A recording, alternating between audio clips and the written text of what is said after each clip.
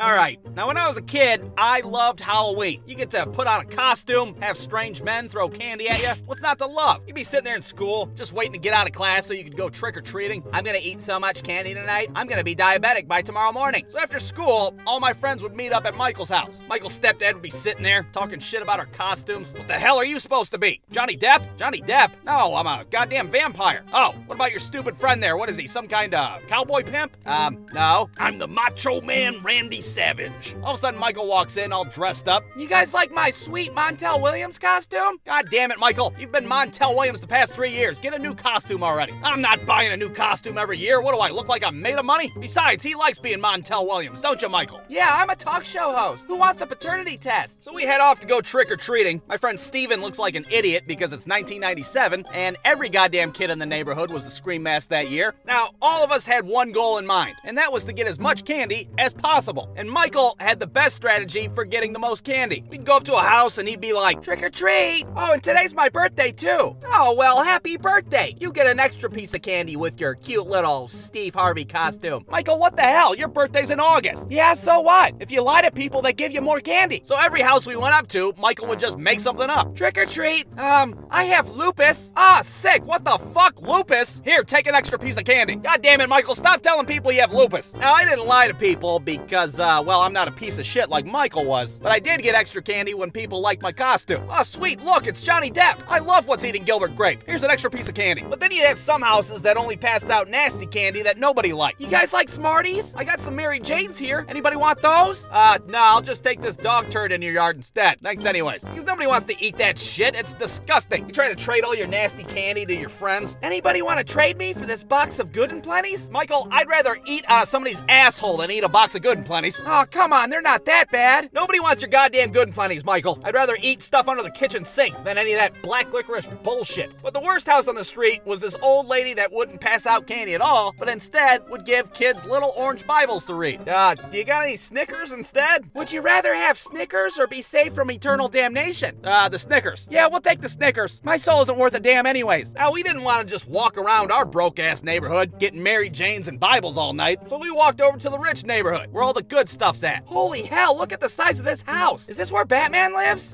Uh, what the hell are you guys supposed to be? The village people? I'll be whatever the hell you want me to be if you give me candy. They give us full-size candy bars and shit. We can't believe it. We're walking away mesmerized. This is amazing. They gave me a full-size Kit Kat bar and I didn't even have to take my clothes off. We all switch our costumes around, walk back up to the house and try to get another candy bar. Uh, you guys sure seem familiar. Oh yeah, I'm the Macho Man. Oh, and I have hepatitis too. Oh, sick. Get your hepatitis ass out of here. Finally, it's the end of the night. Our pillowcases are stuffed full. We're dragging him on the ground like we're trying to dispose of a dead body. We get back to Michael's house. His stepdad's over there half drunk. Well, goddamn, Elton John. That's a shit ton of candy you got there. Whoa, who gave you guys a full-size Kit Kat? They didn't make you guys take your shirt off for them, did they? Oh, no, they didn't. Snap into a Slim Jim. Well, Michael, your hyper ass ain't eating all this candy. I'm taking half of it. Oh, what? Are you serious? Damn right I'm serious. That's a stepdad tax. 50% of your candy. Don't be a baby. I left you all the good stuff anyways.